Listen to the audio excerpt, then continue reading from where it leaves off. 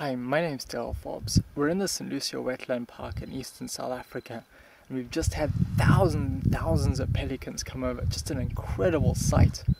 But what we've got here is a small pod of hippos in a very small pan.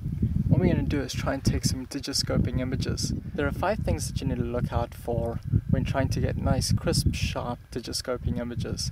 Get good focus, know your camera settings, Use a remote release or a countdown timer. Get a nice stable platform for your digiscoping setup and use good quality optics both in the camera and the telescope. So one of the great things about using a DSLR system is that you have got an optical viewfinder. So this you can really use to get your eye in and really tweak the focus until you get a nice crisp sharp image. With something like these hippos, you want to get that eye really shining and glistening.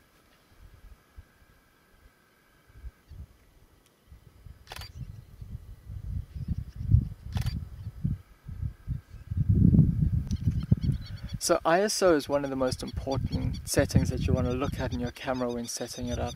The higher the ISO, so on this camera say 1600 ISO, I can take really really fast photos in other words, the shutter speed can be really, really fast.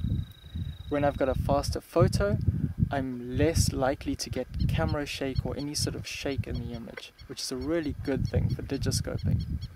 The downside is that the higher the ISO, the more grain I get in the image. That means that when you zoom it in really far, you can kind of see that the image isn't perfect. It's got little spots in it. Now, if we have lots of light, so it's a very bright day or we've got lots of light that we can reduce that ISO and we can take that number down to 100 or 200.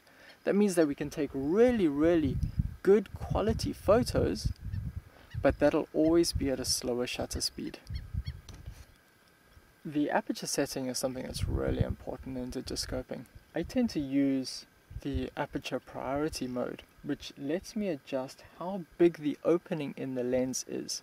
That means that the, the smaller the f number, that aperture number, the bigger the opening in my lens.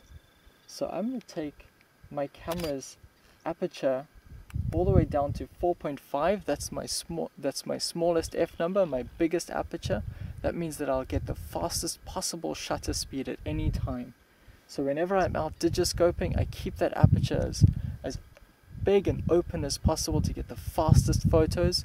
The faster the photo, the less chance there is of any shake in the image, and the sharper, crisper the image is going to be. So my current setup right now is the equivalent of 875 millimeter telephoto lens. That's a really big lens, and the bigger the lens, the more light it needs to take photos. What I've done is I've set my ISO to the maximum possible, which is 1600 on this camera. And then I've opened the aperture up as wide as possible, so that's the smallest number. And when I look at the hippo out here,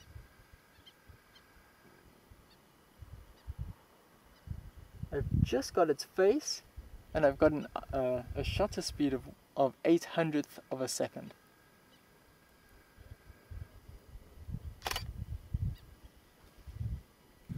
Now anything you can do while digiscoping that'll reduce shake or any movement that you put into the system, that'll help you get a, a sharper, crisper image. So one of the things that's that is useful is if you've got a remote trigger or a cable release, or in this camera what we can also use is, is the self timer. So if we were to then change it to a 10 second self timer, we can set up the photo.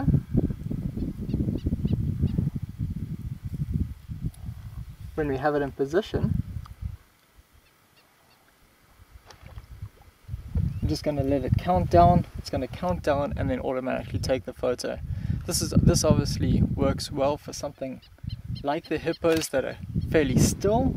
And we've now got the still image. I know that I haven't shaken camera or the setup just by holding it.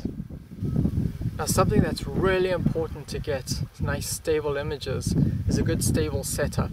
I've got a carbon fiber tripod which is really light so easy to carry around and the carbon fiber tends to dampen vibration way more than an aluminium tripod for example.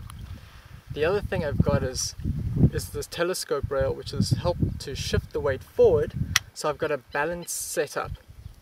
If my weight were further back, so if I didn't have a, a balance rail, then the weight is at the back and I'm going to be forcing the camera to stay in position and just that act of forcing it will introduce vibration into the image. Now the last thing that's, that's also very important when trying to get a nice crisp clear photo is the quality of the optics in the telescope and the quality of the optics in the lens.